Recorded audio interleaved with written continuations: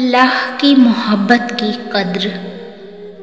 जो चीज़ें हमें बला मुशक्क़त मिल जाती हैं ना, जो हमें फ्री में मिल जाती हैं बैठे बैठे मिल जाती हैं, उनकी कद्र कहाँ रहती है हमें? उसी तरह अल्लाह की मोहब्बत हमें फ्री नहीं मिलती। अगर अल्लाह की मोहब्बत भी हमें बैठे बैठे मिल जाती, हमें अल्लाह की कद्र क्या होनी थी? कद्र अब भी नहीं, जैसे उसका हक़ है। इसीलिए अल्लाह की मोहब्बत के लिए हमें तोड़ा जाता है।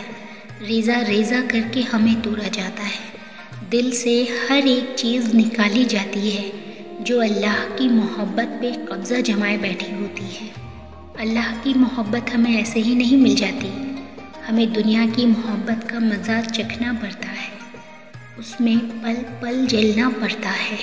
दिल खाली करना पड़ता है। अल्लाह के लिए जगह बनानी पड़ती है। ये जगह हम खुद नहीं जब बनाते तो अल्लाह अपने तरीक़े से बनाता है, हमें तोड़ता है। दुनिया की मोहब्बत की हकीकत से आशना करवाता है, ताकि हम उसकी मोहब्बत की कदर जान सकें। हमारी मोहब्बत की कदर नहीं होती तो हमें अल्लाह की मोहब्बत की कदर पता चलती है। जैसा हम चाहते हैं हमारी मोहब्बत की कदर हो, वैसे ही अल्लाह भी चाहता है। हम उसकी कदर करें। अल्लाह की मोहब्बत लाजवाल है।